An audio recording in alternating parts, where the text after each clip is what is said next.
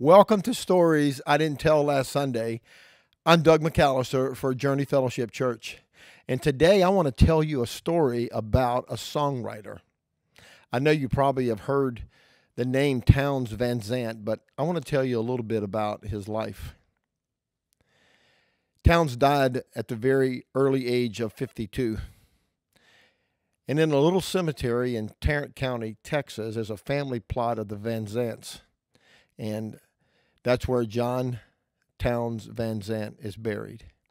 He was one of the most prolific songwriters of the 20th century.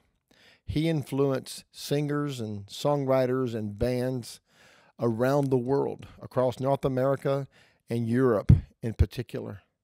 He influenced people from Bob Dylan to Steve Earle, from Willie Nelson to the Rolling Stones. You probably have heard the number one song from the 80s by Willie Nelson and Merle Haggard called Pancho and Lefty. Well, that's one of Townes Van Zandt's songs. Let me tell you a little bit about the man, the songwriter, Townes Van Zandt. There's a quote from Townes that I think kind of captures the spirit of his life.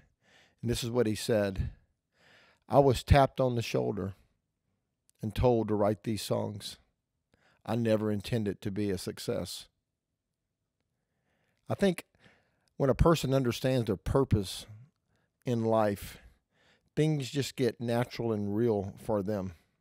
And he lived his life just like he never intended to be a success. Even when his songs went to number one and people from around the world were calling and asking him to write songs for them, it never changed his lifestyle. In fact, he became more of a recluse.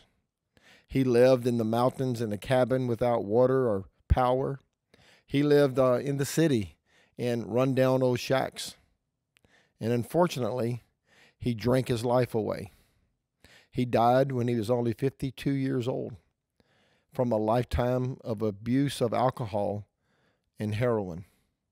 What a tragic way for such a gifted songwriter to leave the earth. But that's exactly what I want to hone in on today about the life of Townes Van Zandt. One writer said this about him it's like he lived his life to destroy himself so that the music could get out of his soul. It's an interesting take on a human life. And it's kind of a twisted view of what Jesus said that we have to give our life in order to find our life. And maybe that is what drives all of us as human beings that we know that what's in us has to come out and how we find a way to express that really determines the way that we live our life. And Townes Van Zandt literally drank himself to death. And he wasn't when he wasn't drinking, he was doing heroin and all kinds of other drugs and products that brought him to an early grave. But in the process of that, something amazing happened. And it shows you the value of every human being that God put inside of each one of us value and worth that is intrinsic to us. And it's just a gift from the Creator. And how we live our life determines what that gift leaves as an impact to the world. Now, truly, Townes had a huge impact on the world but imagine the impact he could have had if he had lived his life in the way that God had designed him.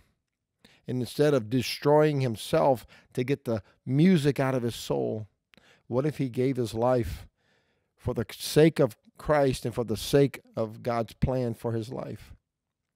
He did talk of the Lord often. In one of his quotes, he said, What I do is between me and the Lord and the state of grace that I live in determines the state of grace that the people that listen to me find. And it's a interesting take on the human experience because our walk with the Lord is personal.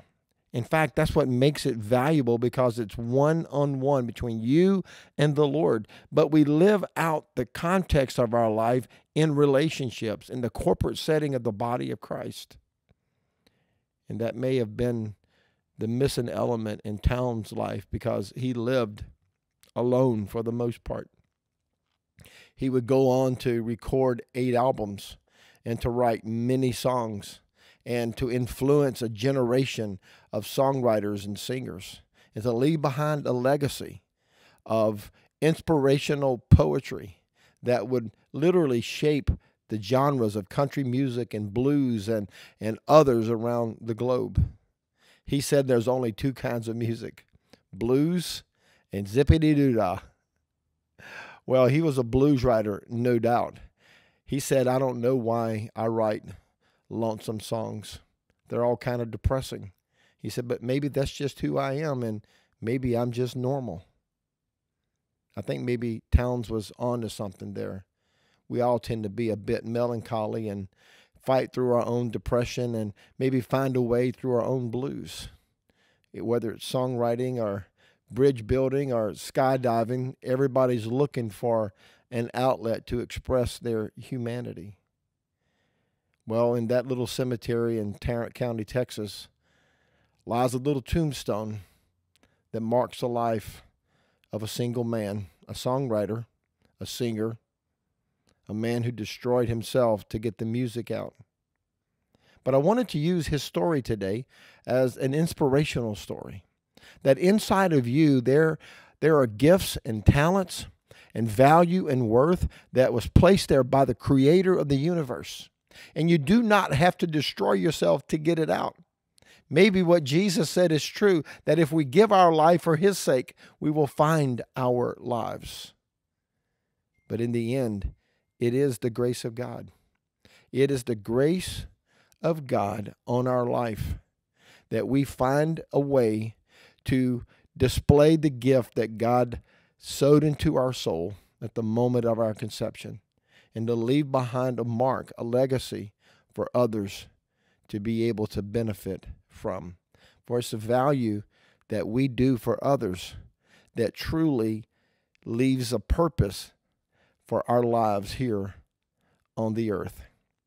Today we're talking about Townes Van Zandt, born May 7th, 1944, died January 1st, 1997, buried in a little family plot in Tarrant County, Texas.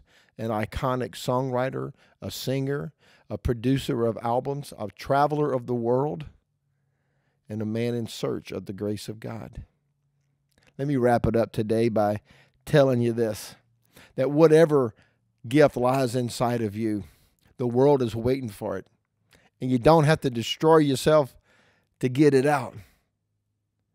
But maybe the call of Jesus is the same on all of us that if we will take up our cross daily and follow Him, the life that God places within us will bring the gifts out to benefit all those around us. So today we remember the life of Townes Van Zandt to remind us of the value and worth of every person and to remind you today that God has put you on this earth for a reason, for a call, with a gift to do his work and to benefit those around you. Well, that's the story I didn't get to tell last Sunday. There's a whole list of stories here on the podcast. I hope you'll go back and listen to some. Join us here each week. We tell a new story every week here on Stories I Didn't Tell Last Sunday. I'm Doug McAllister for Journey Fellowship Church. Check us out on the web. We're at jf.church. Uh, we're also, uh, you can download our app. It's absolutely free from your app store. Type in Journey Fellowship Church in the search in the search bar. Download it to your smart device. It's packed full of resources to help you in your faith. Not only the stories I didn't tell last Sunday podcast, but there's uh, archives of our messages here from Journey Fellowship Church. There's other resources, places to get connected, get involved to help you grow in your faith. And if you live nearby Slidell, Louisiana, come visit us any Sunday right here in Slidell. You can find driving directions and service times at jf.church or on the Journey app. For Journey Fellowship Church, I'm Doug McAllister, and this has been Stories I Didn't Tell Last Sunday.